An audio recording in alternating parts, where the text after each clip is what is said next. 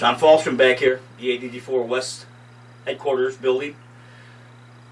Down below, Dave. Got Dave here. Got Derek here, our assistant. Um, pretty down below ground. We don't give our location out because, uh, well, we don't, for various reasons. We're about 45 minutes south of the historic Wrigley Field, and so on. You know.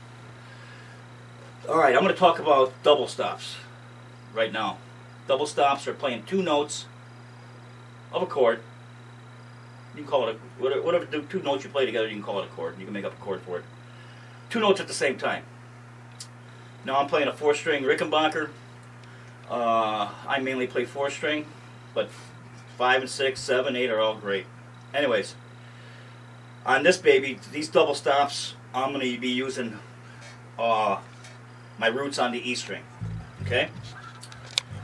Uh, and I'll show you what's going on here. Now, you know, I don't know if, you're, if you see me, I don't like to use C because C is always used as a beginning one because it's got no sharps and flats, and then unfortunately, you don't get out of C. You don't understand the sharps and flats. So I'm going to go to D.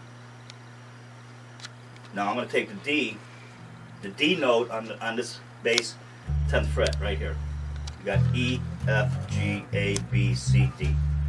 For you bass players that don't, didn't know that was a D, I would learn it. It's better than not knowing it. Trust me.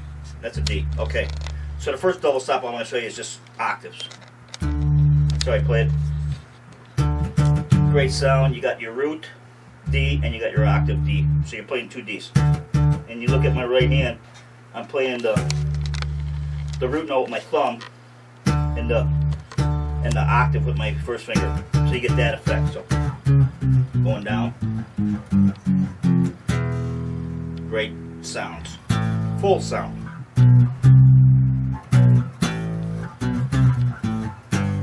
Okay? That is the octave. Now you can do that on the A string too. So here's D. Well, I'm going to take this D and move it right here. And you got those two Ds. Same shape. Remember that shape. Octave is probably the most important shape you want to learn to begin with. Here's the root.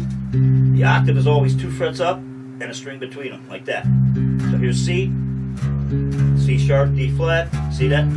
Boom. And as your as your hand develops, you're going to wind up playing using your first and fourth fingers for these things to keep your hand natural. You don't want to be stretching all that stuff. See that? Okay, that's that's your octave. All right. Next one, I'm going to do what we call a um, back to D here. Major chord is D, F sharp, and A. Root third, fifth. So what I'm going to do is I'm going to take this third, which is D, F sharp. I'm going to put up an octave higher. A lot of people call it the tenth because uh, it's an octave higher than the third. But I look at it as it could just be the root and the third. It's D and F sharp. And here's the sound. You use your middle finger here, little finger here. It's a great sound. Memorize that. That's a D major chord. And then you just you can play all your major chords now. D flat, C, keep the same shape. B, B flat major, A major, A flat major, G major. See that? Boom. Even G. Could E right there. Again, it's knowing your notes, it's knowing your shapes. D and F sharp. Now watch this. I'm gonna go now, take that D, same D. I'm gonna play the root here, and I'm gonna take and go to here. D and A. A is the fifth, which is in the chord, D, F sharp, and A. All major chords are root, thirds, and fifths. Root, third, fifth, D, F sharp, A. You got the root here, you got the fifth here. Thumb on the lower note, the root, A, first finger. Great harmony, great sound. Again, this shape can be moved anywhere you want now. Boom, right there, D flat, C. Now it gets harder because the frets get bigger as you go down. That's about as far as I want to go down right now. B. But up here it gets pretty easy. F sharp, G. Okay? That's root and fifth. That's used as a major chord. So instead of just playing a D or D, you throw that puppy in, and you got a harmony note going on. You put that third there too.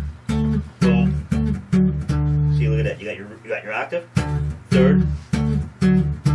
I would practice it that way. Root stays here. Nice. Alright, let's move on from there. Let's go D minor. So here's the major third. We'll use a little different finger pattern. Put your middle finger here. We'll use that third like this with your little finger. Here's a D, here's an F.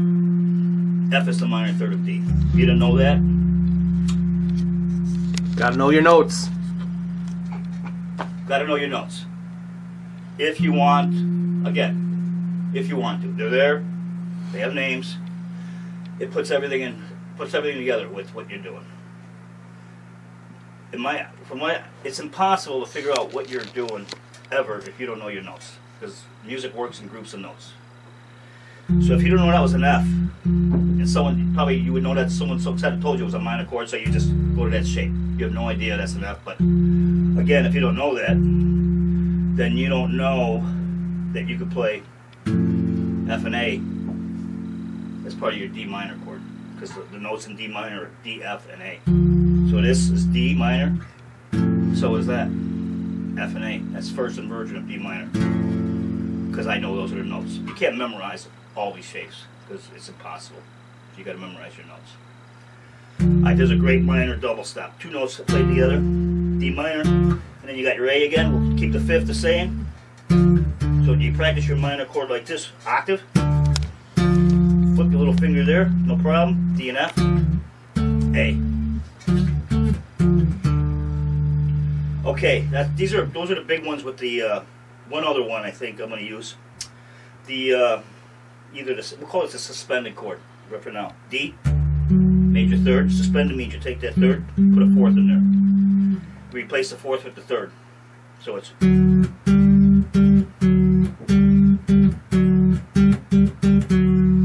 so it's G. So you play your suspended chord like that. That's how it looks. Usually resolves in third. Okay, let's go to our um, move our strings. Let's go to our D and G strings. Now we'll just do the same thing. We'll start with uh, thirds. We'll take D up here. That's a major third. Uh, great sound. I'm just flickering back, root third. Here's the fifth.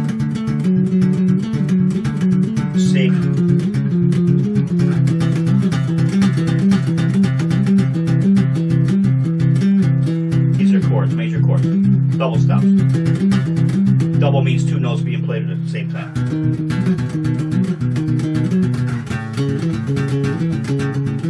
That's an A. Okay, back to D. Then you got your minor. Minor third is here.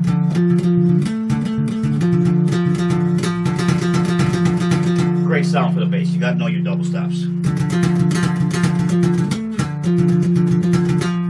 Okay. Um, and the fifth.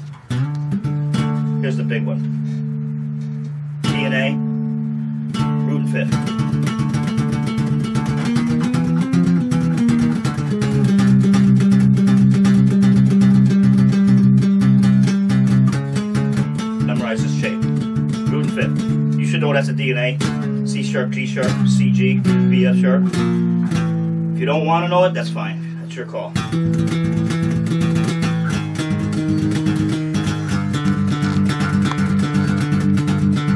You can you can play on these things. All right, those double stops, I would recommend learning pretty quick. Okay, I'm not going to do inversions today with double stops. I just wanted you to get root position. It's called putting that root note on the bottom as the lowest pitch. That's called root position. That's on page 36 of my book EADG4. Uh, double stops are in that book uh, everywhere. Again, the theory book, my theory book covers all of this stuff and a lot more. These are just these these these videos me and Dave have been doing since May last May 6th, I believe, in the uh, headquarters. Is uh, we've gotten real up close with them. We've, we've, we're, we're tearing them apart and better to really see what it looks like and hear it. Okay? We're going to do a couple more, so I'll be right back. Thanks.